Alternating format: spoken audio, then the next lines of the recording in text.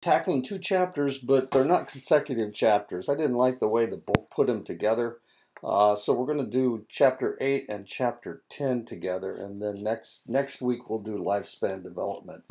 But uh, today we're going to tackle two chapters, memory and then emotion and motivation, which seem to, to go together a little bit better than sticking developmental psych in there somewhere. So let's go ahead and get started on chapter 8. There we go, chapter 8.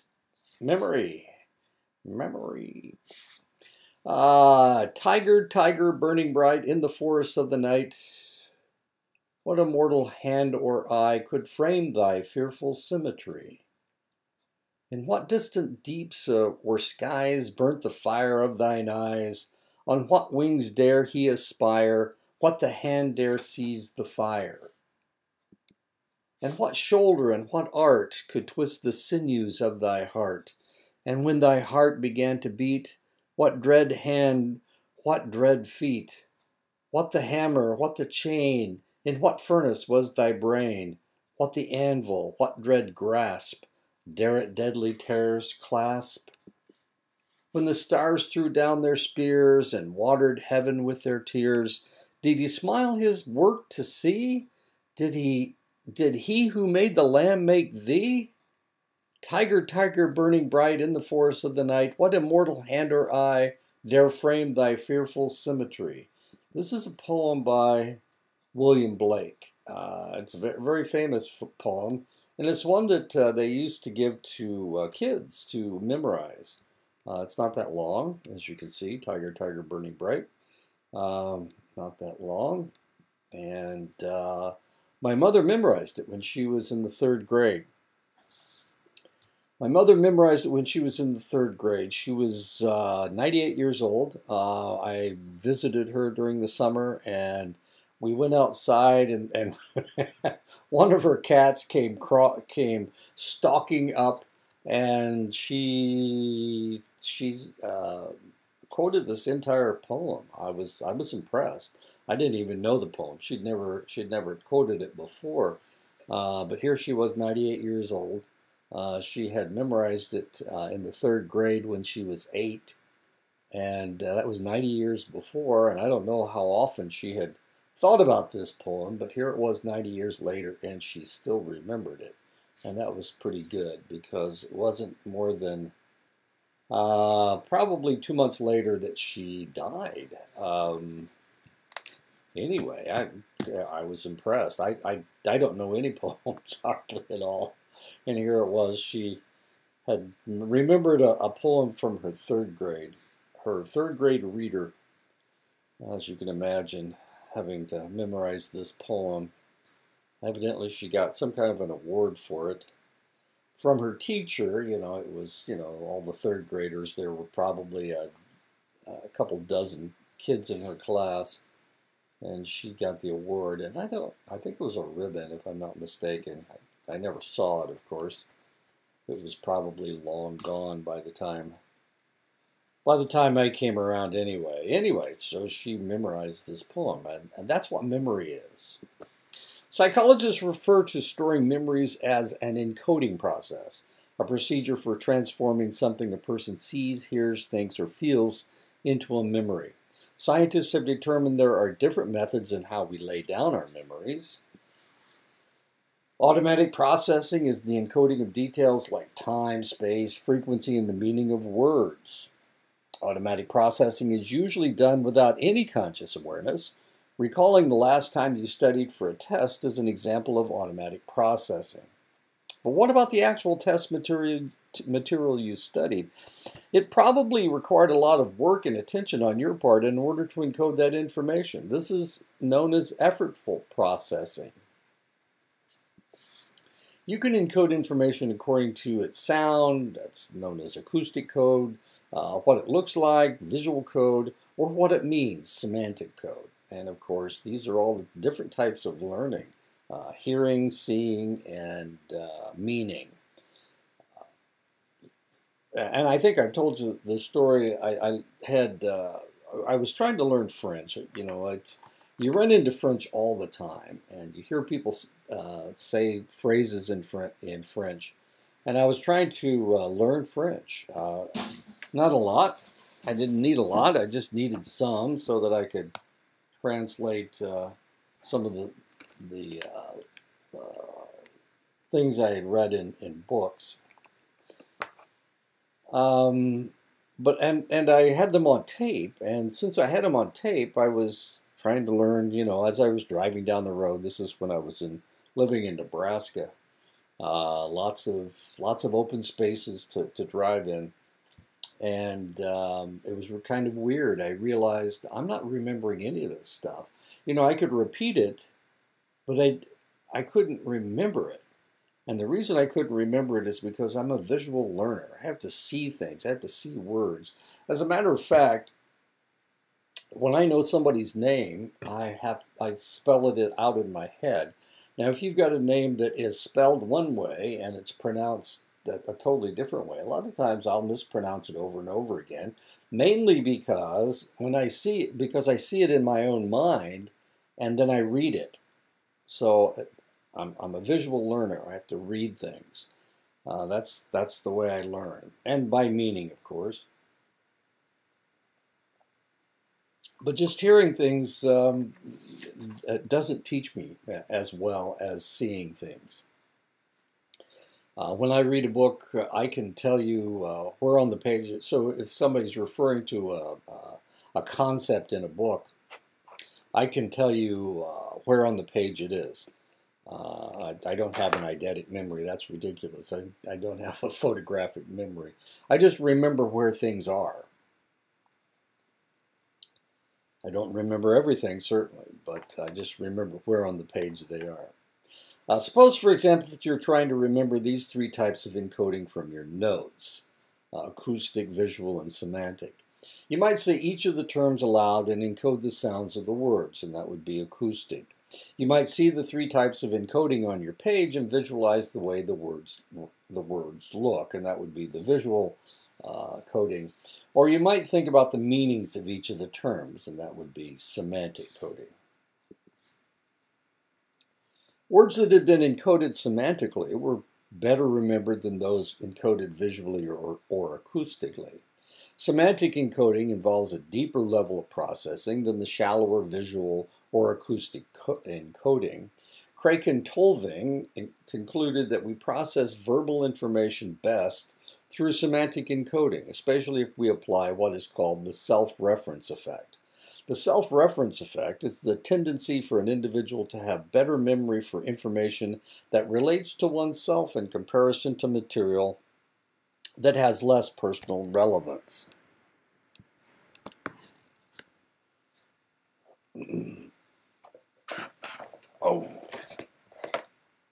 If you try to encode the following sentence, it might give you a little trouble because without context, it's hard to understand.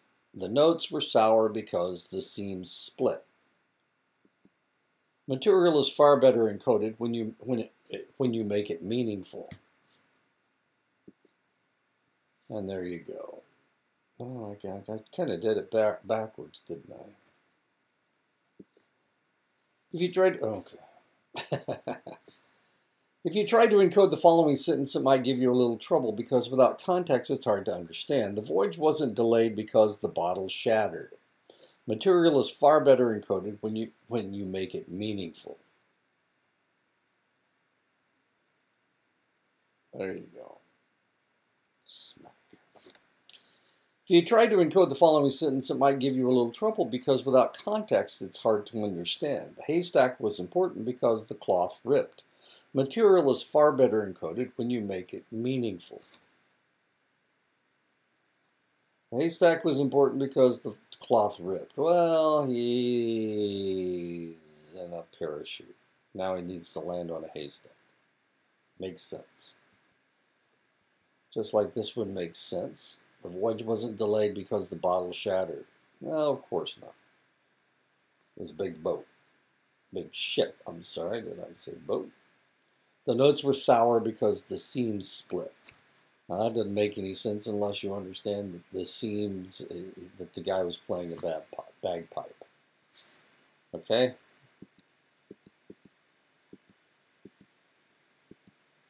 Our brains take the encoded information and place it in storage. Storage is the creation of a permanent record of information. In order for a memory to go into storage, for example, long-term memory, it has to pass through three distinct stages, sensory memory, short-term memory, and finally, long-term memory. The Atkinson-Shiffrin's model is based on the belief that we process memories in the same way that a computer processes information. In Atkinson-Shiffrin model, Stimuli from the environment are processed first in sensory memory, storage of brief uh, sensory events such as sights, sounds, and tastes. It is very brief storage, but by but up to a couple of seconds. We are constantly bombarded with sensory information. We cannot absorb all of it or even most of it.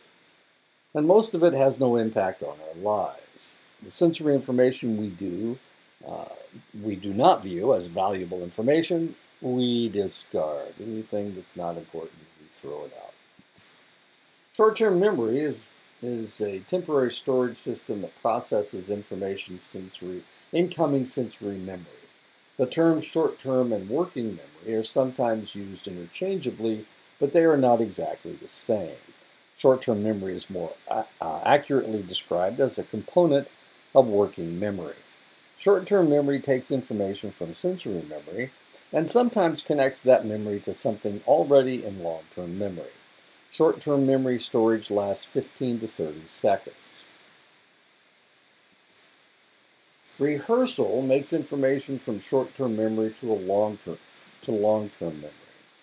Active rehearsal is a way of attending to information to move it from short-term to long-term memory. During active rehearsal, you repeat or practice the information to be remembered. If you repeat it enough, it may be moved into long-term memory.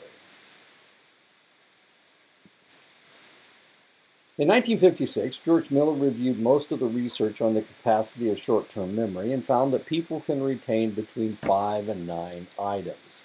So we reported the capacity of short-term memory was the magic number 7, plus or minus 2. However, more uh, contemporary research has found working memory capacity is 4 plus or minus 1. And that's according to Cowan in 19, uh, 2010.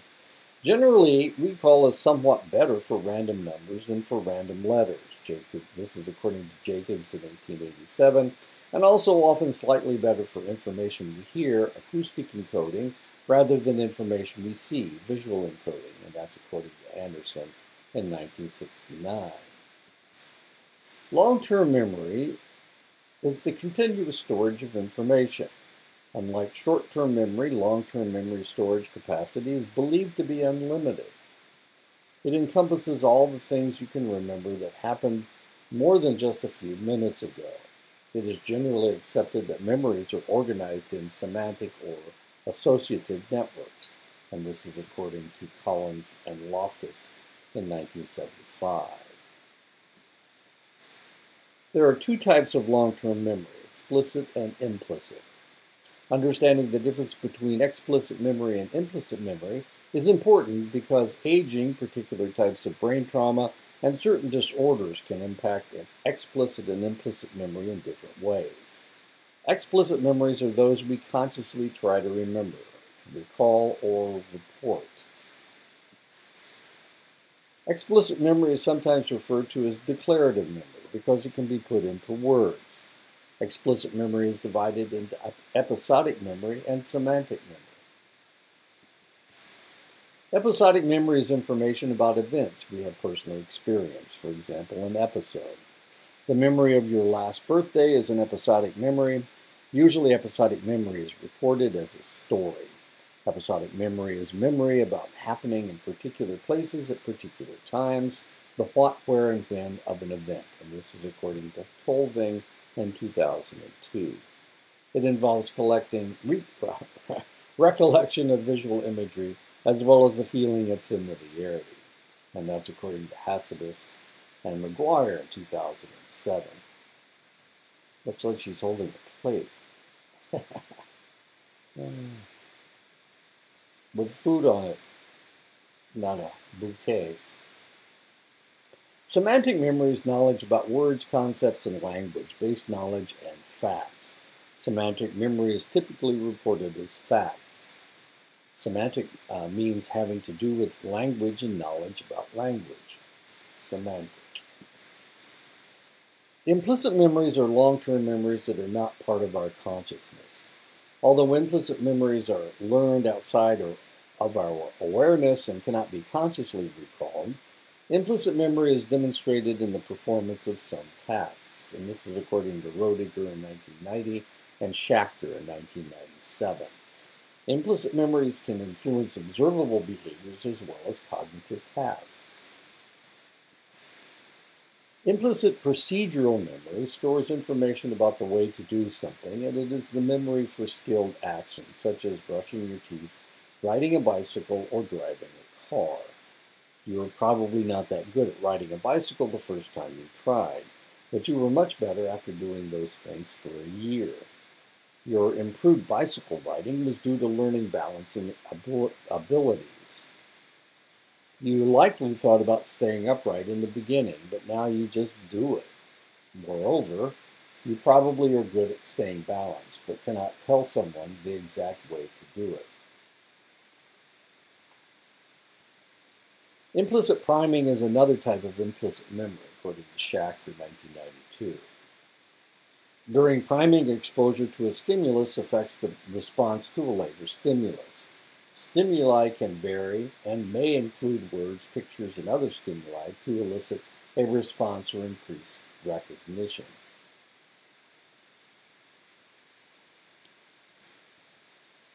Implicit emotional conditioning is the type of memory involved in classically conditioned emotion, uh, emotion responses. Olson, according to Olson and Fazio in 2001. These emotional relationships cannot be reported or recalled, but can be associated with different stimuli. For example, specific smells can cause specific emotional responses for some people. If there is a smell that makes you feel positive and nostalgic and you don't know where the response comes from, it is an implicit emotional response. Similarly, most people have a song that causes a specific emotional response. That song's effect could be an implicit emotional memory. This is according to Yang Zhu, Du, and Shi, uh, Shi and Fang in 2011. And of course, if you can remember what song, this is from uh, the movie uh, Love Actually, and uh, it's the Pointer Sisters that he's dancing to. I'm trying to think of the song myself. the act of getting information out of memory storage and back into conscious awareness is known as retrieval. Just like that dog retrieved that little girl. There he's going to get the ball. There you go. She doesn't need to go into the water for the ball. He'll get it. Our ability to retrieve information from long-term memory is vital to our everyday functioning. We must be able to retrieve information from memory in order to do everything from knowing how to brush your hair and teeth to driving uh, to work to knowing how to perform your job once you get there. Good job, dog. Now go get the ball so she doesn't have to go out in the water. Good work. All right. There are three, three ways that you can retrieve information out of long-term memory storage system. Recall, recognition, and relearning. Recall, recall is what we most uh, often do about when we talk about memory retrieval. It means you can access information without cues. For example, you would use recall for an essay test. Recognition happens when you identify information that you have previously learned after encountering it again. it involves a process of comparison. When you take a multiple choice test, you are relying on recognition to help you choose the correct answer. Let's say you graduated from high school 10 years ago, and you have returned to your hometown for your 10-year reunion. You may not be able to recall all your classmates, but you recognize many of them based on their uh, yearbook photos. The third form of retrieval is relearning, and it's just what it sounds like. It involves learning information that you previously, previously learned. Whitney took Spanish in high school, but after high school, she did not have the opportunity to speak Spanish. Whitney is now 31, and her company has offered her an opportunity to work in their Mexico City office. In order to prepare herself, she enrolls in a Spanish course at the local community center. She's surprised at how quickly she's able to pick up the language after not speaking it for 13 years. This is an example of relearning. The main job of the amygdala is to regulate emotions such as fear and aggression the amygdala plays a part in how memories are stored because storage is influenced by stress hormones. Because of its role in processing emotional information, the amygdala is also involved in memory consolidation, the process of transferring new learning into long-term memory. The, the amygdala seems to facilitate encoding memories at a deeper level when the event is emotionally arousing. arousing. And these little almond-shaped structures are those are the amygdala. And there's two of them. Amygdala actually means almond in Greek or Latin, one of the two. And the hippocampus is involved in memories, uh, specifically normal recognition memory as well as spatial memory when the memory tasks are like recall tests. This is according to Clark, Zola, and Squire in 2000. Another job of the hippocampus is to project information to cortical regions that give memories meaning and connect them with other memories.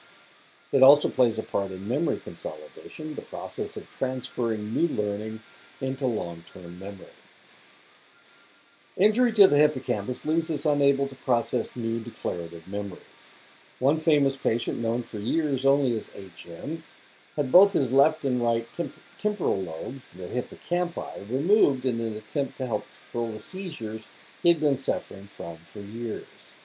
As a result, his declarative uh, memory was significantly affected, and he could not form new semantic knowledge. He lost the ability to form new memories, yet he could still remember information and events had occurred that had occurred prior to the surgery, and that is the actual HM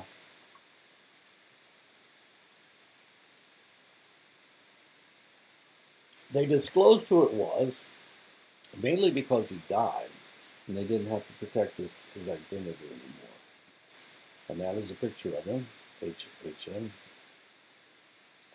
Although the hippocampus seems to be more of a processing area for explicit memories, you could still uh, lose it and be able to create implicit memories, procedural memory, motor uh, learning, and classical conditioning, thanks to your cerebellum. And that's your cerebellum, this red structure right here. Other researchers have used brain scans, including positron emission tomography or PET scans, to learn how people process and retain information. From these studies, it seems the prefrontal cortex is involved. Recall is much better for a semantic task than for a perceptual task. According to PET scans, there's much more activation in the left inferior prefrontal cortex in, this, uh, in the semantic task. Studies have shown that encoding is associated with left frontal activity, while retrieval of information is associated with the right frontal region. This is according to Craik et al. in 1999. And that, of course, is the prefrontal cortex. There also appear to be specific uh, neurotransmitters involved with the process of memory, such as epinephrine, dopamine, serotonin, glutamate, and acetylcholine. And this is according to Meyer in 2003. There continues to be discussion and debate among researchers as to which neurotransmitter plays which specific roles, according to Blokland in 1996. Although we don't yet know which role each neurotransmitter plays in memory, we do know that communication among neurons via neurotransmitter uh, is critical for developing new memories. Repeated activity by neurons leads to increased neurotransmitters and synapses and more efficient and more synaptic connections. This is how memory consolidation occurs. It, it is also believed that strong emotions trigger the information, I'm sorry, the formation of strong memories. And weaker emotional experiences form weaker memories. This is called arousal theory, according to Christensen in 1992. For example, strong emotional experiences can trigger the release of neurotransmitters as well as hormones, which strengthen memory. Therefore, our memory for an emotional event is usually better than our memory for a non emotional event. When humans and animals are stressed, the brain secretes more of the neurotransmitter glutamate, which helps them remember the stressful event. Now, you may ask yourself, why in the world is this the way it is, the way it works? And the reason is because survival has to do with you remembering uh, negative things. A flashbulb memory is an exceptionally clear recollection of an important event. Most likely you can remember where you were and uh, what you were doing uh, when you heard of the 9-11 uh, terrorist attacks. In fact, a Pew Research Center in 2011 survey found that for those Americans who were age 8 or older at the time of the event, 97% could recall the moment they learned of this event, even a decade after it happened. There are two common types of amnesia, anterograde amnesia and retrograde amnesia. Anterograde amnesia is commonly caused by, by brain trauma, such as a blow to the head. With anterograde amnesia, you cannot remember new information, although you can remember information and events that happened prior to your injury. The hippocampus is usually affected, and that's according to McLeod in uh, 2011. This suggests that damage to the brain has resulted in the inability to transfer information from short-term to long-term memory.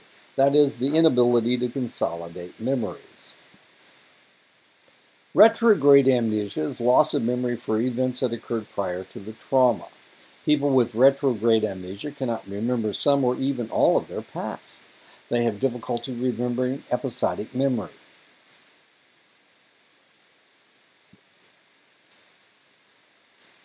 The formation of new, uh, new memories is sometimes called construction, and the process of bringing up old memories is called reconstruction.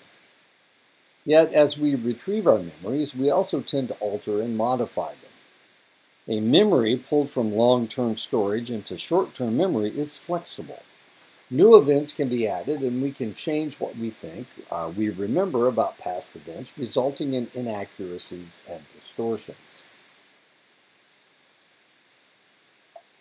People may not uh, intend to distort facts, but it can happen to the process of retrieving old memories and combining them with new memories. And this is according to Roediger and DeSoto in 2015. When someone witnesses a crime, that person's uh, memory of the details of the crime is very important in catching the suspect. Because memory is so fragile, witnesses can be easily and often accidentally misled due to the problem of suggestibility. Suggestibility describes the effects of misinformation from external sources that leads to the creation of false memories. I told you to get a sign off from marketing before you sent this around. How vivid is your false memory of that conversation? It's plenty vivid. W were unicorns involved? Even though memory and process of reconstruction can be fragile, police officers, prosecutors, and the courts often rely on eyewitness identification and testimony in the prosecution of criminals. However, faulty eyewitness identification and testimony can lead to wrongful convictions. Cognitive psychologist Elizabeth Loftus has conducted extensive research on memory. She, has, she studied false memories as well as recovered memories of childhood sexual abuse. Loftus also developed a misinformation effect paradigm, which holds that after exposure to additional and possibly inaccurate information, a person may misremember the original event.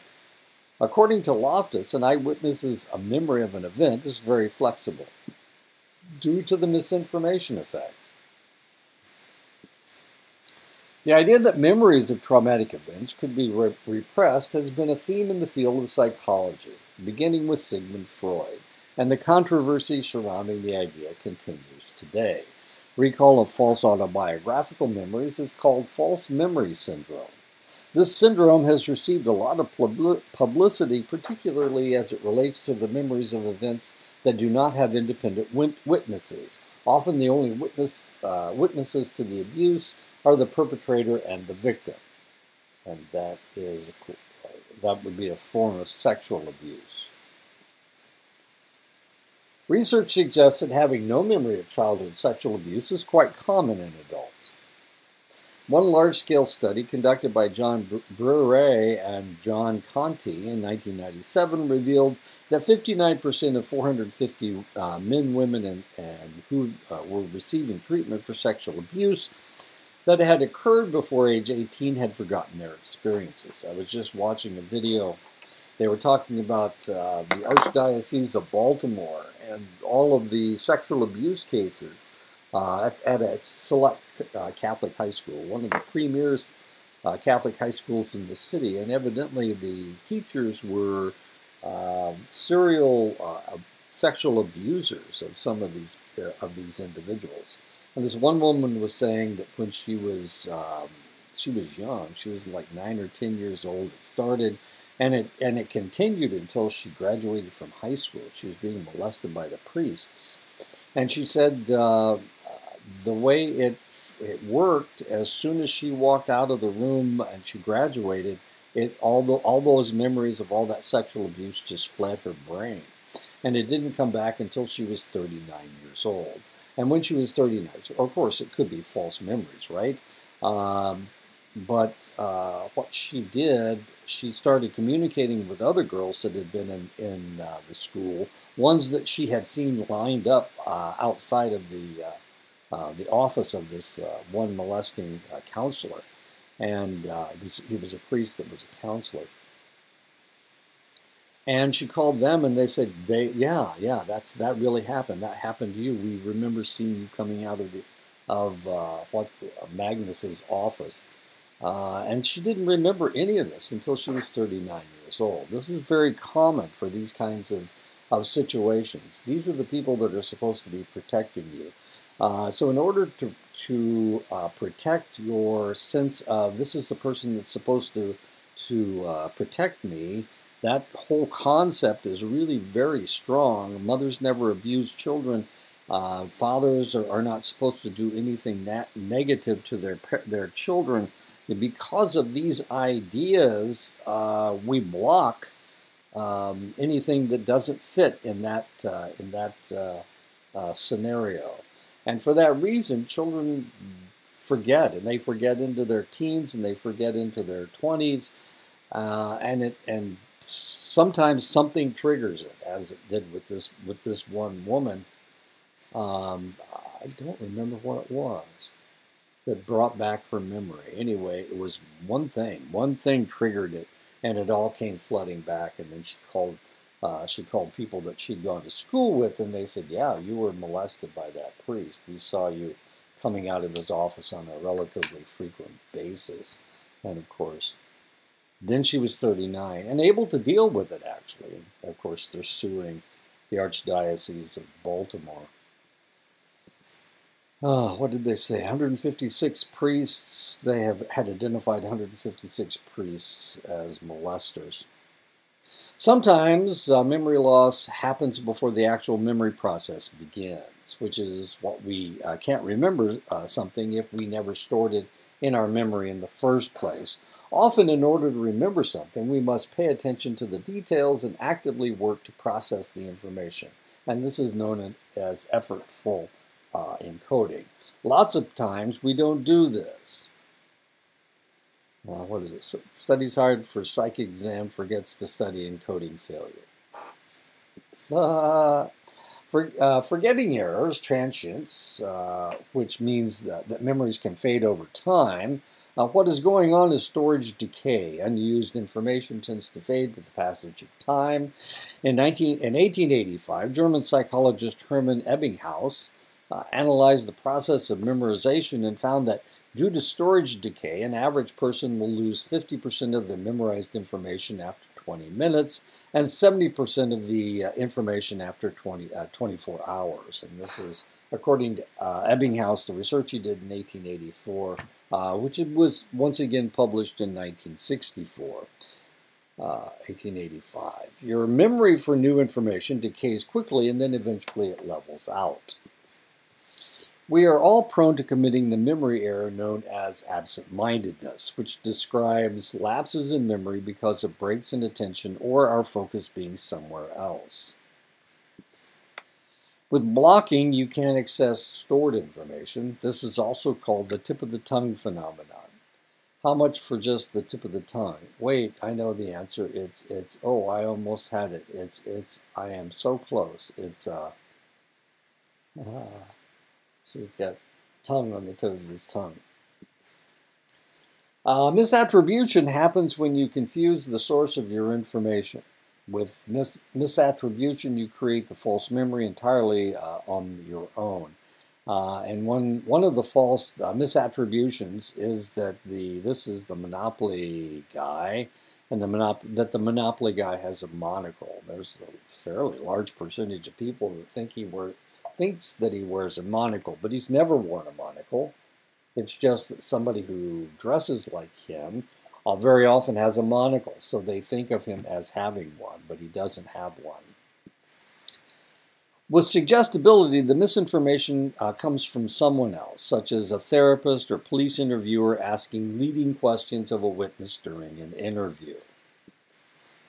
Schacter in, two, in 2001 says that your feelings and view of the world can actually distort your memory of past events.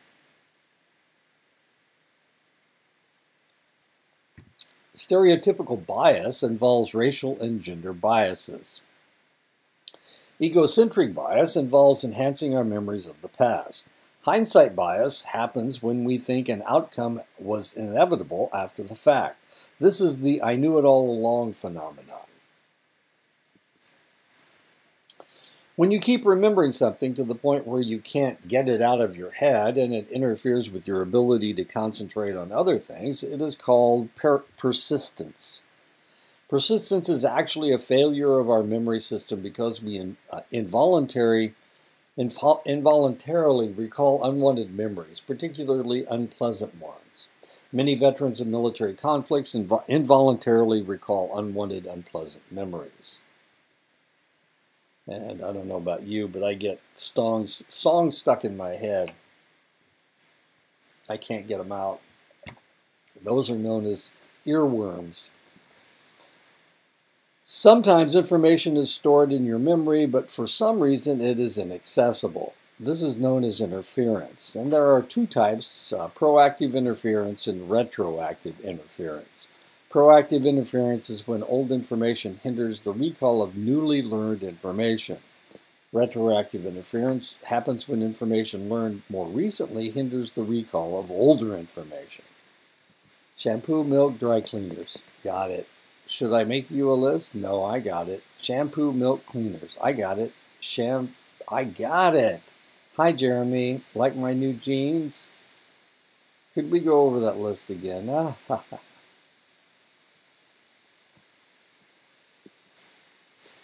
To help make sure information goes from short-term memory to long-term memory, you can you can use memory enhancing strategies. One strategy is rehearsal, or the conscious repetition of information to be remembered.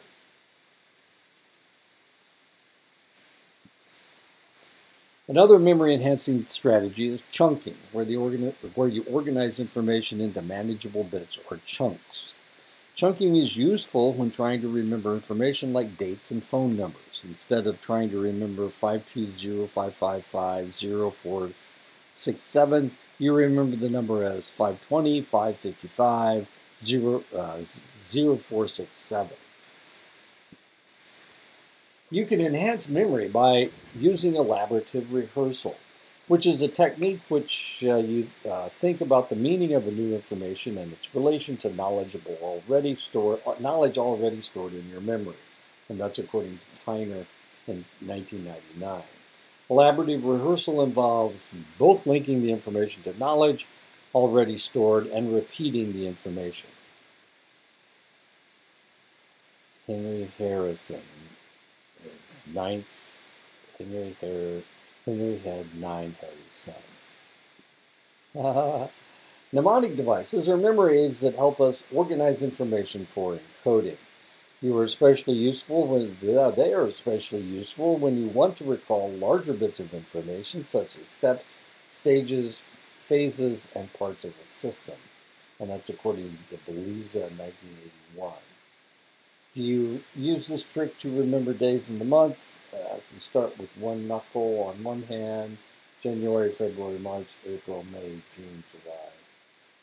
Uh, the knuckle is 31 days.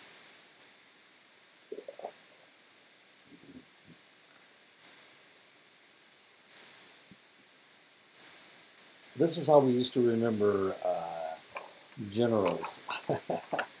Be my little general was what we remembered. Brigadier generals have one star.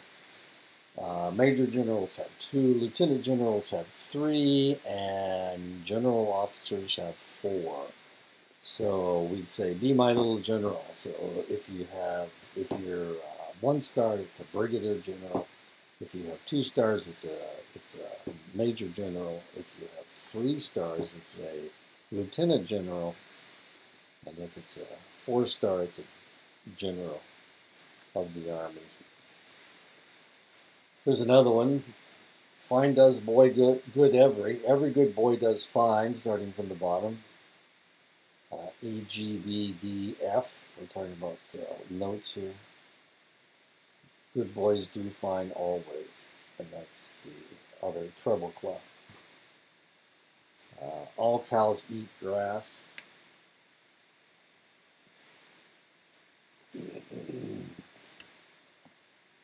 My very educated mother just served us noodles Mercury, Venus, Earth, Mars, Jupiter, Saturn, Uranus, and Neptune. So if you remember the phrase, my very educated mother just served us noodles, then you can remember the order of, uh, of planets uh, with Neptune the closest. Is that right?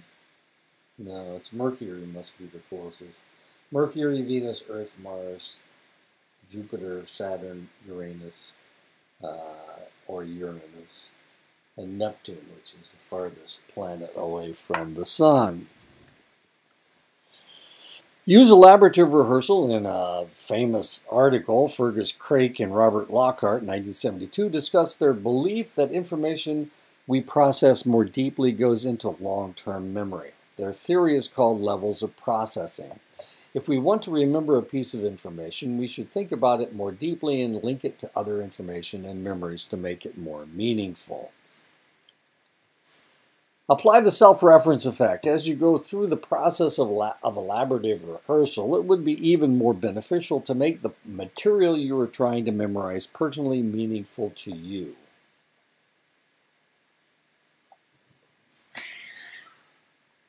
Write notes in your own words. Write definitions from the text and then rewrite them in your own words. Relate the material to, to, something you have already learned for another class or think how you can apply the concepts to your own life. You are building a web of retrieval cues that will help you access, access the material when you want to remember it. Use distributed practice. Study across time in short durations rather than trying to cram it all in at once. Memory consolidation takes time and studying across time allows time for memories to consolidate. Cramming can cause the links between the concepts to become so active that you get stuck in a link and it prevents you from accessing the rest of the information that you learned and then you have to bang your head on the computer keyboard. There you go. Rehearse, rehearse, rehearse. Review the material over time and space uh, and organize study sessions. Organize and study your notes and take practice, quizzes, exams. Link the new information to other information you already know well. Study efficiently. Students are great highlighters, but the highlighting is not very efficient because students spend too much time studying the things they already learned. Instead of highlighting, use index cards. Write the question on one side and the answer on the other. When you study, separate your cards into those you got right and those you got wrong. Study the ones you got wrong. Be aware of interference. To reduce the likelihood of interference, study during a quiet time without interruptions or distractions, like television or music. I would say that mm, that puddle is making is a distraction for him.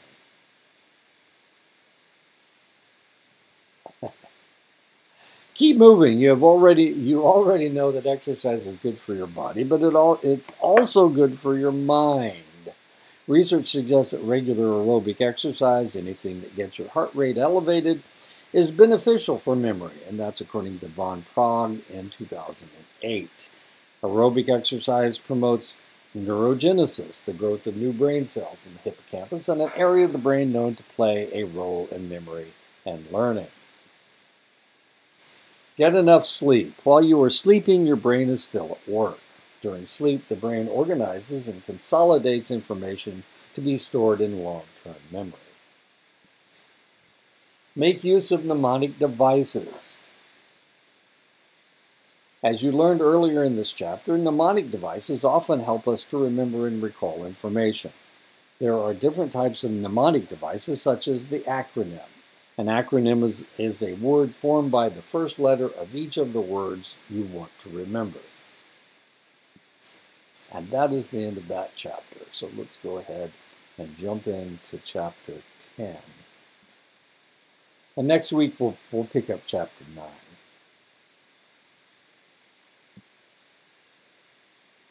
Chapter 10 Emotion and Motivation. Motivation describes the wants or needs that direct behavior toward a goal. In addition to biological motives, motivation can be intrinsic, arising from internal factors, or extrinsic, arising from external factors. Intrinsically motivated behaviors are performed because of the sense of, of personal satisfaction that they bring, while extrinsically motivated behaviors are performed in order to receive something from others.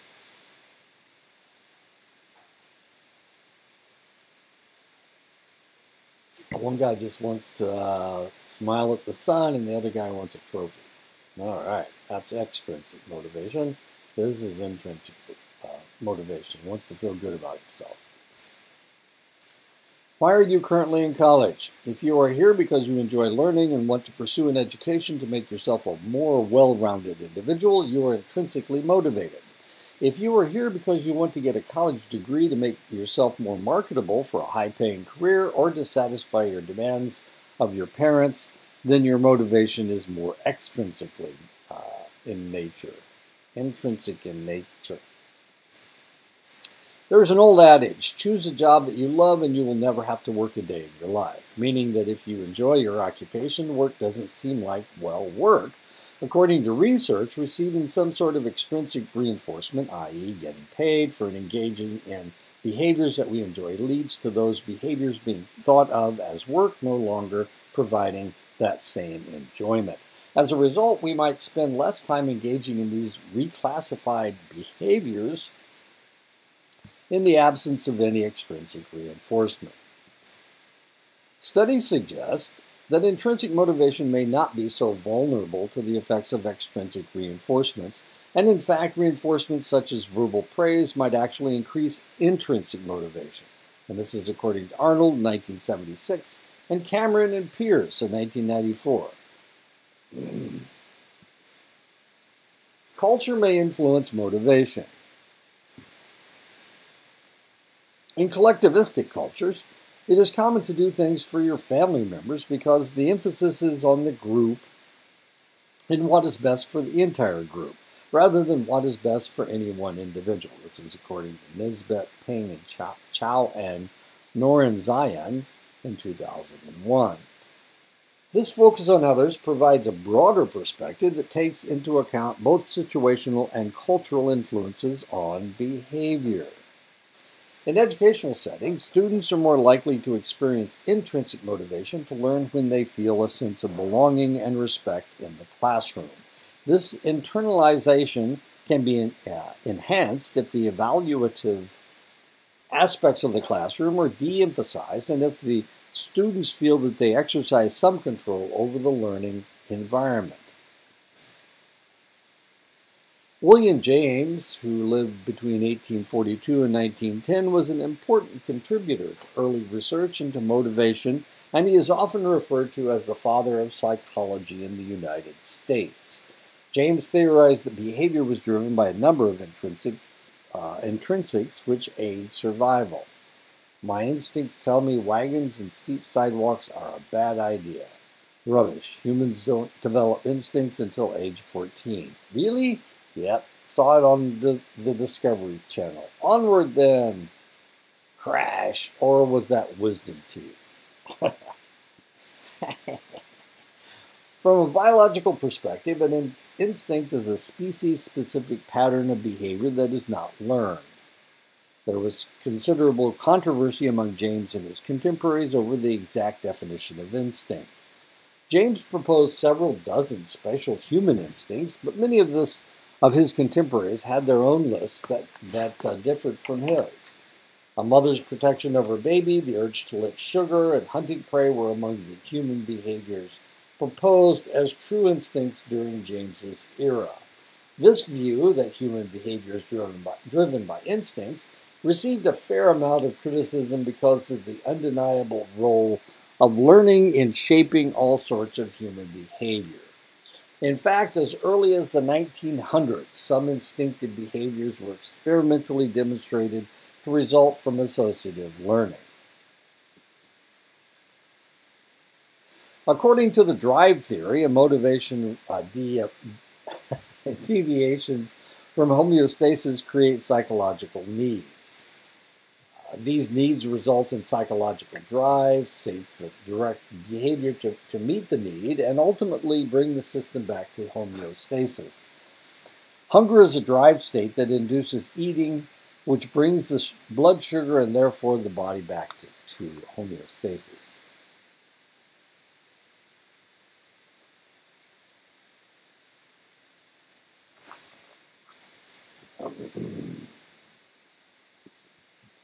A habit is a pattern of behavior in which we regularly, regularly engage. Once we have engaged in behavior that successfully reduces a drive, we're more likely to engage in that behavior whenever faced with that drive in the future. This is according to Graham and, and Weiner in uh, 1996. Extensions of drive theory take into account levels of arousal as potential motivators. These theories assert that there is an optimal level of arousal that we all try to maintain. If we are under aroused, we become bored and will seek out some sort of stimulation. If we are over aroused, we will engage in behaviors to reduce our arousal. And that's according to Berlyne in uh, 1960. Students tend to be over aroused in finals at finals time, but generally by the next fall, many students are quite happy to return to school.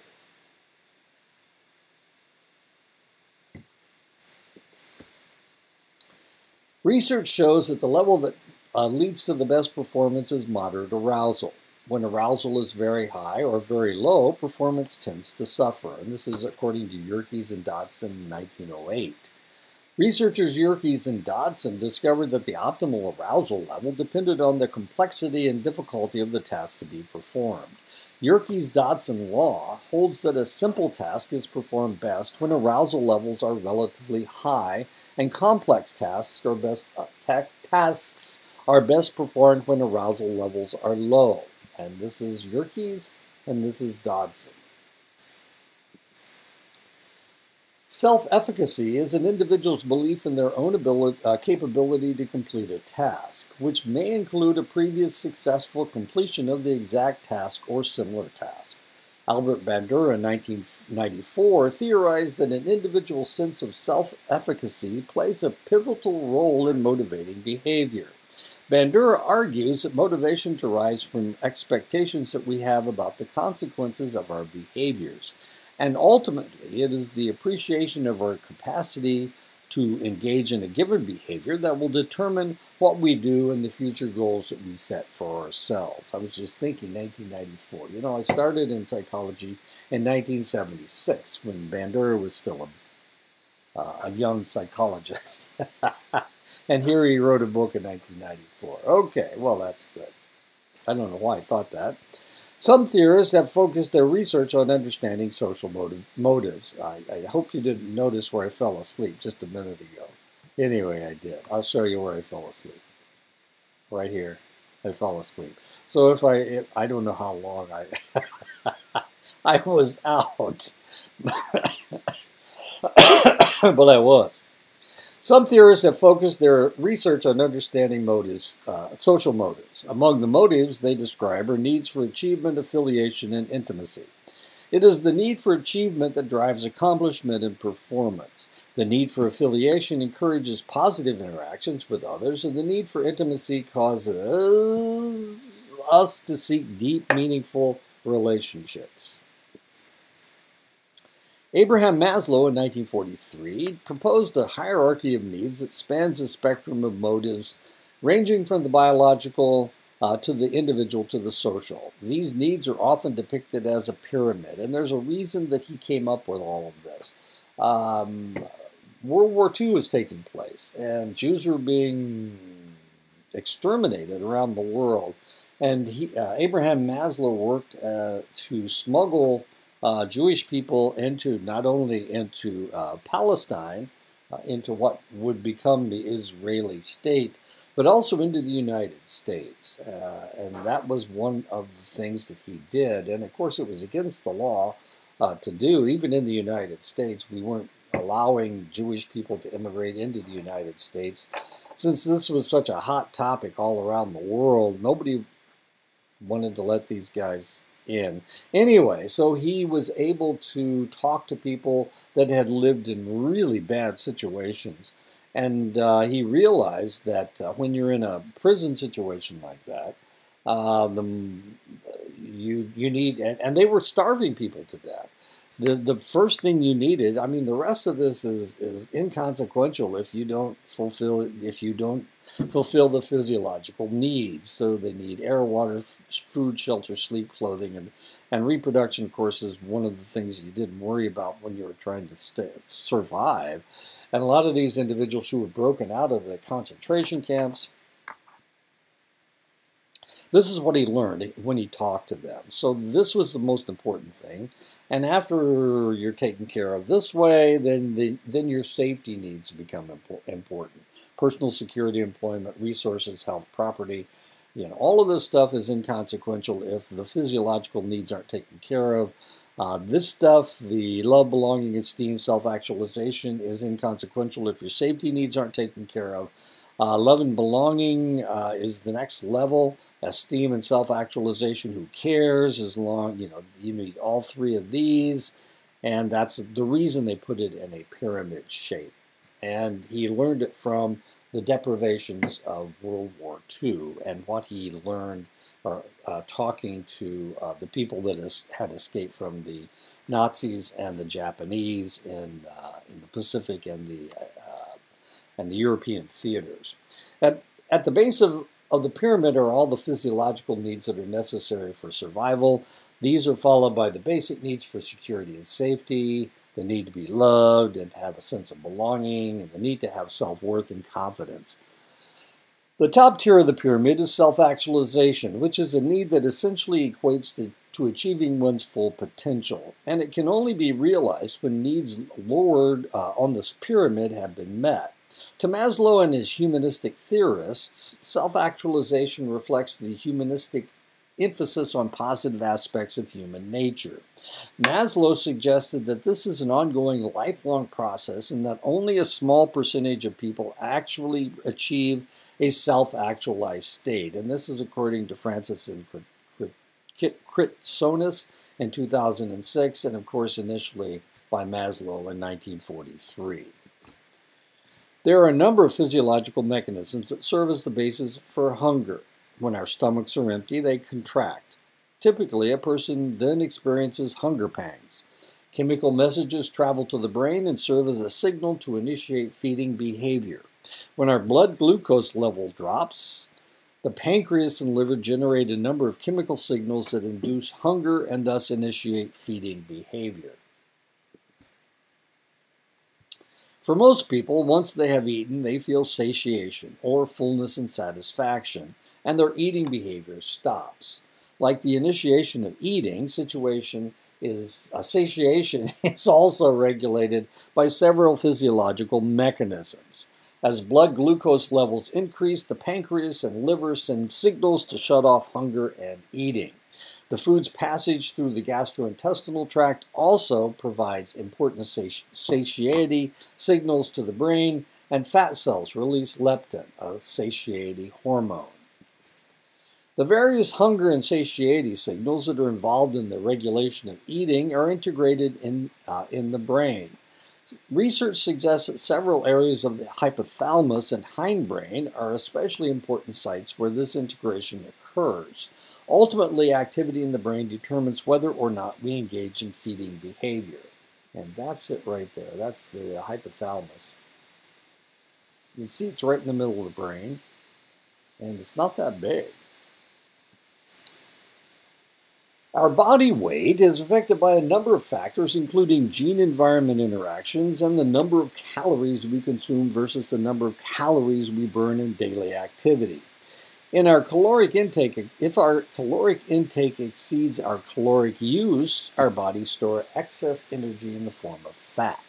If we consume fewer calories than we burn off, then stored fat will be converted to energy. Our energy expenditure is obviously affected by our levels of activity, but our body's metabolic rate also comes into play. A person's metabolic rate is the amount of energy that is expended in a given period of time, and there is tremendous individual variability in our metabolic rates. People with high rates of met metabolism are able to burn off calories more easily than those with lower rates of metabolism. So what does this have to do with? This has to do with fat and muscle. The more muscle you have, uh, the uh, more calories that you burn just maintaining the muscle. Uh, so the more fat you have, uh, the less calories you burn uh, because fat doesn't need to be maintained uh, the same way that muscle does. Okay, so who, who, who would be the easy people to, to lose weight? Uh, the, the people that uh, lose weight the easiest are the strongest people, and that, of course, males tend to have more muscle than uh, females do, and for that reason, most males are able to lose weight uh, more, far more readily than, uh, than females are. It's just the way it is, humans. Now, why is that? Why do women maintain so much body fat? The answer is because if they don't have body fat, then they're, they will not ovulate. It has to do with reproduction. So females are um, have evolved uh, maintaining a body fat uh, in select areas such as the hips and the breasts um, so that they can ovulate, so that they can reproduce. If they drop below a certain uh, body fat content, uh, then they stop ovulating. And then they can't reproduce. So it's very important that women maintain a certain amount of fat and that's why they have deposits of fat in select areas that men don't have, like women have uh, uh, fatty thighs, and of course they have breasts uh, that are uh, that have fat in them. that's what breasts are made of. Made of. Uh, if you see a woman who is a bodybuilder and uh, she has really strong pecs, if she doesn't have breast tissue on top of that, then well, then she probably doesn't ovulate. The set point theory asserts that each individual has an ideal body weight or set point which is resistant to change. This set point is genetically pre uh, predetermined, and eff uh, efforts to move our weight significantly from set point are resisted by com compensatory changes in energy intake and or expenditure. This is according to Speakman et al. in uh, 2011. And we talk about people with hourglass figures, rectangular figures, apple figures, inverted triangle figures, and pear-shaped figures uh, for both males and women, as interesting as that is. Anyway, there you go. When someone weighs more than what is generally accepted as healthy for a given height, they are considered overweight or obese. According to the Centers for Disease Control and Prevention, the CDC, an adult with a body mass index, BMI, between 25 and 29.9 is considered overweight. An adult with a BMI of 30 or higher is considered obese. People who are so overweight that they are at risk for death are classified as morbidly obese. Morbid obesity is defined as having a BMI over 40. Being extremely overweight or, or obese is a risk factor for several negative health consequences. These include, but are not limited to, an increased risk for cardiovascular disease, stroke, type 2 diabetes, liver disease, sleep apnea, colon cancer, breast cancer, infertility, and arthritis. Given that it is estimated that in the United States around one third of the adult population is obese, and that nearly two thirds of the adults and one in six children qualify as overweight, this was according to the CDC in 2012, there is substantial interest in trying to understand how to combat this important public health concern. generally, overweight and obese individuals are encouraged to try to reduce their weights through a combination of both diet and exercise. While some people are very successful with these approaches, many struggle to lose uh, excess weight. And there you go. She is losing weight. It's just melting right off. Bar bariatric uh, surgery is a type of surgery specifically aimed at weight reduction, and it involves modifying the gastrointestinal system to reduce the amount of food that can be eaten and or limiting how much of the digested food can be absorbed. A recent meta-analysis suggests that bariatric surgery is more effective when non-surgical treatment for obesity uh, in the two years immediately following the procedure. these are the four different uh, type of uh, bariatric surgery. People suffering from bulimia nervosa engage in binge eating behavior that is followed by an attempt to compensate for the large amount of food consumed. Purging the food by inducing vomiting or through the use of laxatives are too often com compensatory behaviors. Some affected individuals engage in excessive amounts of exercise to compensate for their binges. Bulimia is associated with many adverse health consequences that can include kidney failure, heart failure, and tooth decay. In addition, these individuals often suffer from anxiety and depression, and they are at, at an increased risk for substance, substance abuse. The lifetime prevalence rate for bulimia nervosa is estimated at around 1% for women and less than 0.5% for men. Unlike with bulimia, binge eating disorder is not followed by inappropriate behavior such as purging, but they are followed by distress, including feelings of guilt and embarrassment. The resulting psychological distress distinguishes binge eating disorder from overeating. Binge eating. Anorexia nervosa is an eating disorder characterized by the maintenance of a body weight well below average through starvation and or excessive exercise. Individuals suffering from anorexia nervosa often have distorted body image, re referenced in literature as a type of body dysmorphia, meaning that they, they view themselves as overweight even though they are not. Like bulimia nervosa, anorexia nervosa is associated with a number of significant negative health outcomes bone loss, heart failure, kidney failure, amenorrhea, which is a cessation of the menstrual period. Remember, you need about 10% uh, uh, body fat in order to ovulate, uh, reduced function of the gonads, and in extreme cases, death. And of all the different types of mental illness, anorexia nervosa kills more uh, people from uh, with uh, of, of all the mental illnesses, anorexia nervosa is the deadliest. Furthermore, there is an increased risk for a number of psychological problems, such as include anxiety, uh, which include anxiety disorders, mood disorders, and substance abuse. Estimates of the prevalence of anorexia nervosa vary from study to study, but generally range from just under 1% to just over 4% in women. Generally, prevalence rates are considerably lower for men. While both anorexia and bulimia nervosa occur in men and women of many different cultures, Caucasian females from Western societies tend to be the most at-risk population.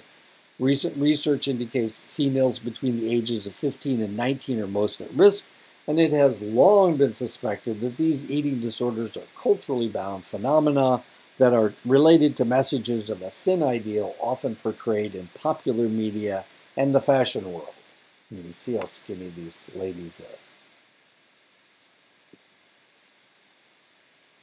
There is considerable evidence that sexual motivation for both men and women varies as a function of circulating testosterone levels. Although many people have been scandalized by psychology's interest in sexual relations, Freud's identification of sexual repression causing social and mental problems has made sex a ripe subject for research. Alfred Kinsey in the 1940s described a remarkably diverse range of sexual behaviors and experiences in his research. Behaviors that had once been considered exceedingly rare or problematic were demonstrated to be much more common and innocuous than previously imagined. To show this, Kinsey developed a continuum known as the Kinsey scale that is still commonly used today to categorize an individual's sexual orientation. According to that scale, sexual orientation is an individual's emotional and erotic attractions to same sexed individuals, homosexual, opposite sex individuals, heterosexual, or both, bisexual. In the 1960s, Masters and Johnson measured human response to masturbation and the act of co- coitus. coitus. In total, Masters and Johnson observed nearly 10,000 sexual acts as a part of their research. Based on these observations, Masters and Johnson divided the sexual response cycle into four phases that are fairly similar in men and women excitement, plateau, orgasm, and resolution. The excitement phase is the arousal phase of the sexual response cycle, and it is marked by erection of the penis or clitoris and lubrication and expansion of the vaginal canal. During plateau, women experience further swelling of the vagina and increased blood flow to the labia minora, and men experience full erection and often exhibit pre ejaculatory fluid. Both men and women experience increases in muscle tone during this time. Wow, so that's what sex is. Orgasm is marked in women by rhythmic contractions of the pelvis and uterus along with increased muscle tension. In men, pelvic contractions are accompanied by a buildup of seminal fluid near the urethra that is ultimately forced out by contractions of genital muscles. And this is known, of course, as ejaculation. Resolution is a relatively rapid return to an unaroused state accompanied by a decrease in blood pressure and muscular relaxation. While many women can quickly repeat the sexual response cycle, men must pass through a longer refractory period as part of resolution. The refractory period is a period of time that follows an orgasm during which an individual is incapable of experiencing another orgasm. In men, the duration of the refractory period can vary dramatically from individual to individual, with some refractory periods as short as several minutes and others as long as a day. As men age, their refractory periods tend to span longer periods of time. While the majority of people identify as heterosexual, there is a sizable population of people within the United States who identify as homosexual, bisexual, pansexual, asexual, or other non heterosexualities. Research suggests that somewhere between 3% and 10% of the population identifies as, hom- as homosexual. Bisexual people are attracted to people of their own gender and another gender. Pansexual people are, uh, experience attraction without regard to sex, gender identity, or gender expression. Asexual people do not experience sexual attraction or have little or no interest in sexual activity. Regardless of how sexual orientation is determined, research has made clear that sexual orientation is not a choice, but rather it is a relatively stable characteristic of a person that cannot be changed. Claims of successful gay conversion therapy have received wide criticism from the research community due to, significant concerns with research design, recruitment of experimental participants, and interpretation of data. As such, there is no credible scientific evidence to suggest that individuals can change their sexual orientation, and this is according to Jenkins in 2010. Dr. Robert Spitzer, the author of one of the most widely cited examples of successful conversion therapy, apologized to both the scientific community and the gay community for his mistakes, and he publicly recanted his own paper in a public letter. I believe I owe the gay community an apology for my study, making unproven claims of the efficacy of reparative therapy. Citing research that suggests not only that gay conversion therapy is ineffective, but also potentially harmful, there have been legislative efforts to make uh, such therapy illegal. Many people conflate sexual orientation with gender identity because of stereotypical attitudes that exist about gay and lesbian sexuality. In reality, these are two related but different issues.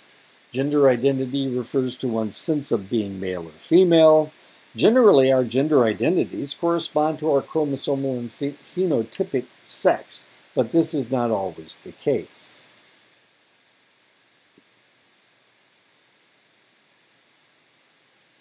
When individuals do not feel comfortable identifying with the gender associated with their biological sex, then they experience gender dysphoria. Gender dysphoria is a diagnostic category in the fifth edition of the Diagnostic and Statistical Manual of Mental Disorders, the DSM 5, that describes individuals who do not identify as the gender that most people would assume they are. Many people who are classified as gender dysphoric seek to live their lives in ways that are consistent with their own gender identity. This involves dressing in opposite sex clothing and assuming an opposite sex identity. These individuals may also undertake transgender hormone therapy in an attempt to make their bodies look more like the opposite sex, and in some cases they elect to have surgeries to alter the appearance of their external genitalia to resemble that of their gender identity.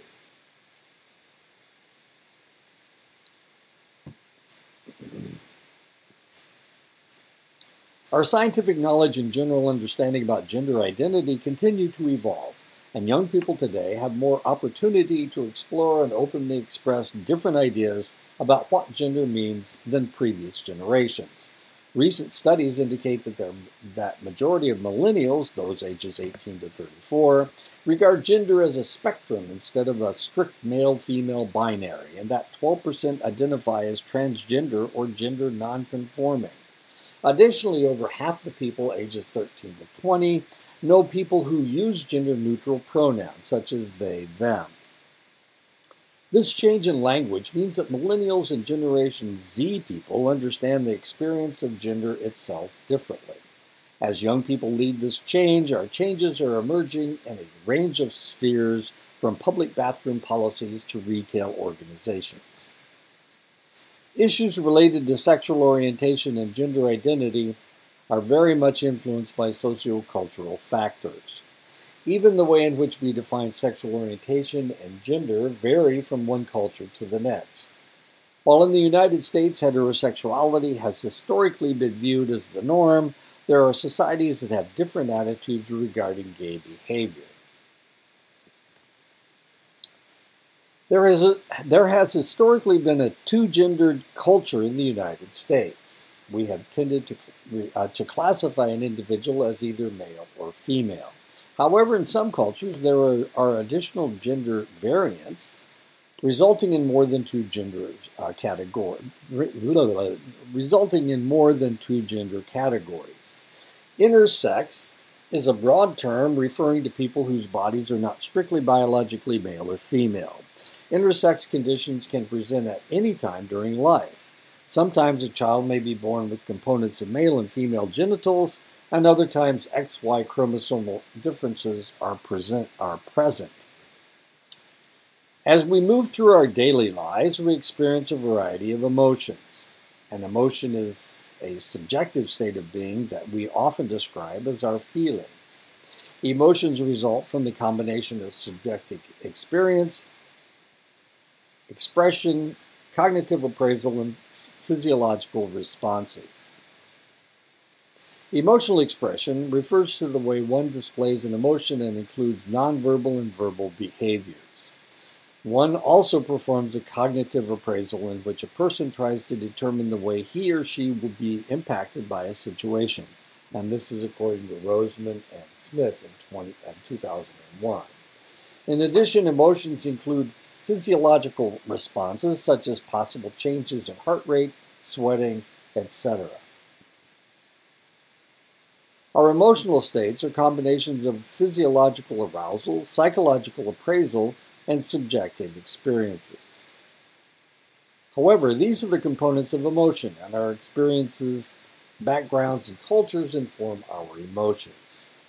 Over time, several different theories of emotion have been proposed to explain how the various components of emotion interact with one another. The James Lange theory of emotion asserts that emotions arise from from physiological arousal. The sympathetic nervous system controls our fight or flight response when threatened. Danger would arouse the sympathetic nervous system to initiate significant physiological arousal, which would make your heart race and the increase in the respiration rate.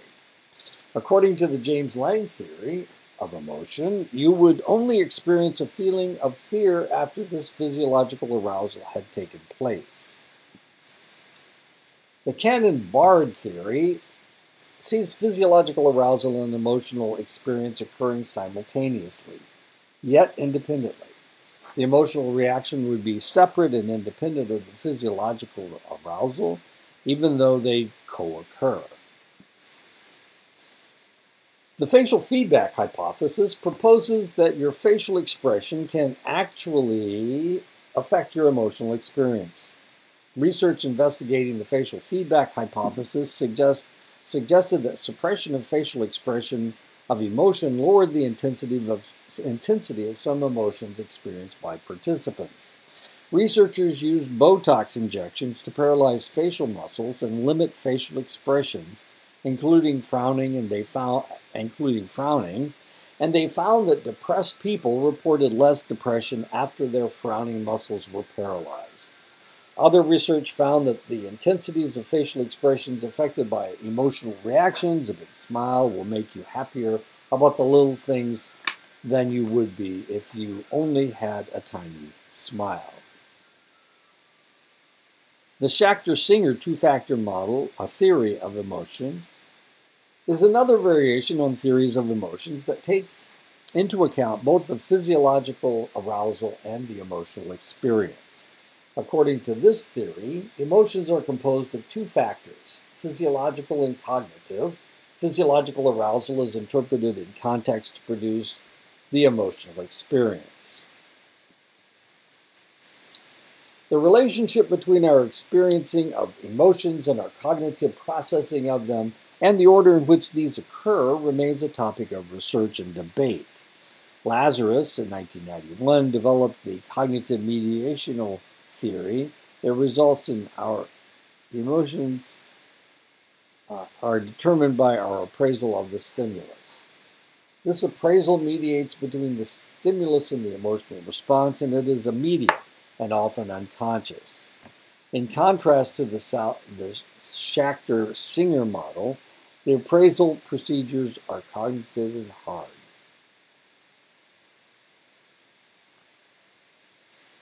Our constant regulation of our emotions, our constant regulate, we constantly regulate our emotions, and much of our emotion regulation occurs without us actively thinking about it. Uh, Miles and her colleagues studied automatic emotion re regulation, AER, which refers to the non-deliberate control of emotions. It is simply not reacting with your emotions. This is Lazarus right here. And this is Miles right here. It is simply not reacting with your emotions, and AER can affect all aspects of emotional processes. AER can uh, influence the things you attend to, your appraisal, your choice to engage in an emotional experience, and your behaviors after an emotion is experienced. The idea of uh, AER is that people develop an automatic process that works like a script or schema, and the process does not require deliberate thought to regulate emotions.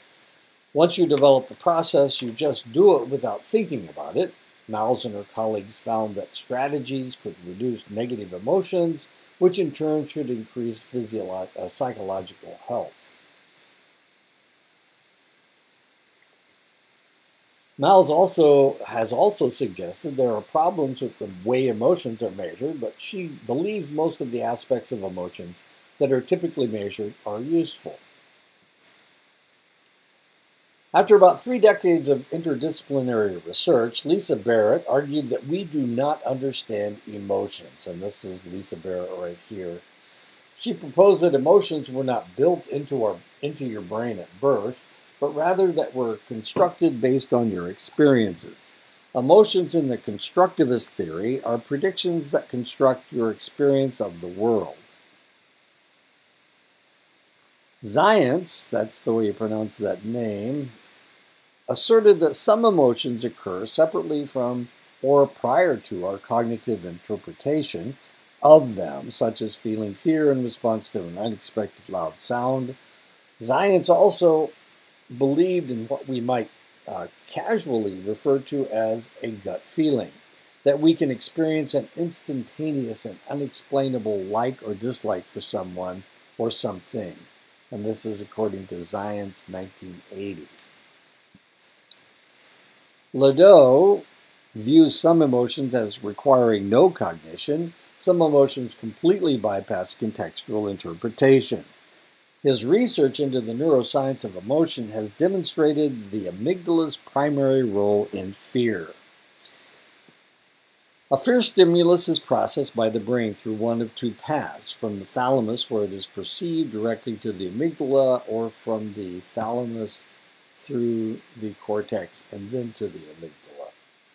The first path is quick, while the second enables more processing about details of the stimulus. And that's LeDoux right there.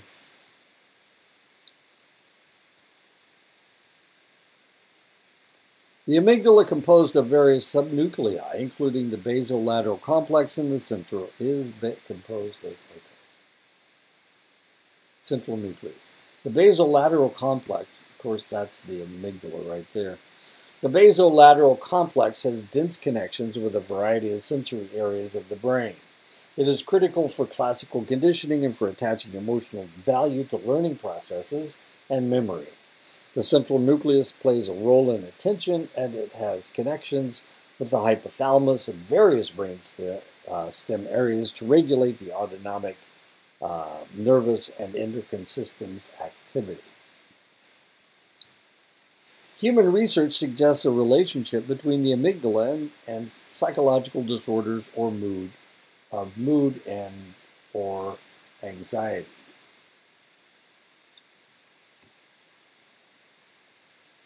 Changes in amygdala structure and function have been demonstrated in adolescents who are either at risk or have been diagnosed with various mood and or anxiety disorders.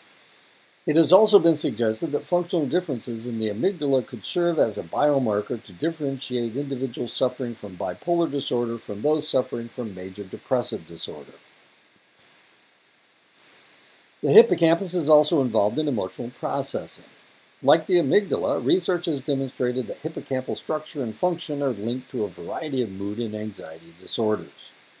Individuals suffering from post traumatic stress disorder, PTSD, show marked re reductions in the volume of several parts of the hippocampus, which may result from decreased levels of neurogenesis and dendritic branching, the generation of new neurons and the generation of new dendrites in existing neurons, respectively. While it is impossible to make causal claim from correlational research like this, studies have demonstrated behavioral improvements and hippocampal volume increases following either pharmacological or cognitive behavioral therapy and individuals suffering from PTSD. Culture can impact the way in which people display emotions. A cultural uh, display rule is one of a collection of culturally specific standards that govern the types and frequencies of displays of emotions that are acceptable. Therefore, people from varying cultural backgrounds can have very different cultural display rules of emotion. This is James Dean. James Dean, strangely enough, was born about 30 miles from where I was born. Now, I'm not exactly sure people in his area of Indiana showed so much emotion, but they didn't where I came from, even though he's only about 30 miles north of where I'm from. I think he's from Mount Pleasant. Yeah. It's just north of where I'm from. I used to drive through his hometown all the time. Other distinct cultural characteristics might be involved in emotionality. For instance, there may be gender differences involved in emotional processing. While research into gender differences in emotional display is equivocal, there is some evidence that men and women may differ in regulation of emotions. Emotion is not only displayed through facial expression, we also use the tone of our voices, various behaviors, and body language to communicate information about our emotional states. Body language is the expression of emotion in terms of body position or movement. Research suggests that we are quite sensitive to the emotional information communicated through body language, even if uh, we're not consciously aware of it. And that is the end of the chapter. And I apologize, I kept falling asleep. Uh, so if I kind of drifted off there for a minute, that's what was going on. Hopefully I didn't. I wasn't gone for very long. anyway, I'll talk to you guys next week. Next week we'll tackle lifespan development.